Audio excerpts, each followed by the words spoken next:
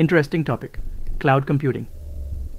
Cloud computing is everywhere around us, whether we are using Facebook, Twitter, Gmail, Zoom for video conferencing, or Citrix Server to connect to Workplace remotely. There are countless examples of cloud computing. With respect to AWS, AWS architectural underpinning is based on cloud computing. That being said, in order to have a solid foundation of AWS, or any cloud service provider for that matter, understanding of cloud computing concept is a foundational must step. In this lecture, we will talk about what cloud computing is and its related terms to provide you with a quick, brief introduction to cloud computing. First, we will start with what the term cloud and cloud computing are. Then we will go through about its related terms, such as cloud services, cloud computing platform, and cloud computing platform provider. What cloud computing is? Cloud computing is essentially about providing services such as infrastructure, platform, or software over the internet. The cloud in the cloud computing used as a metaphor for the internet. Cloud computing refers to the internet-based computing.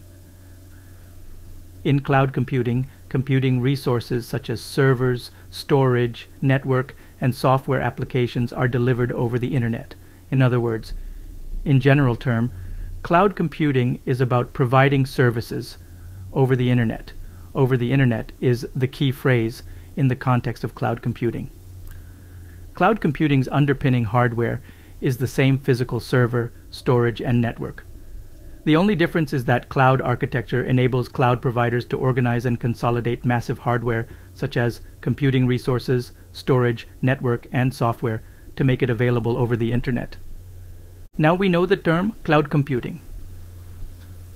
There is another related term, cloud computing platform. The backend system, which is providing cloud services, is called cloud computing platform. Another related term is cloud services. The services which are being provided by the backend system over the internet are called cloud services. Another related term is cloud computing platform provider. The providers such as AWS, Google, Microsoft, which are providing cloud services from their cloud computing platform are called cloud computing platform provider. To summarize, Cloud computing deals with providing infrastructure, platform, software, and other related services over the internet.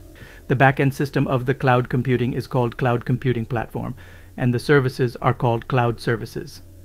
The providers which are providing cloud services from their cloud computing platform are called cloud computing platform provider or cloud platform provider. Or you can also say cloud services provider. I mean, these three terms are used interchangeably. We went through many terms which you may come across with respect to cloud computing. Now, when you hear these terms next time, you know them what they are.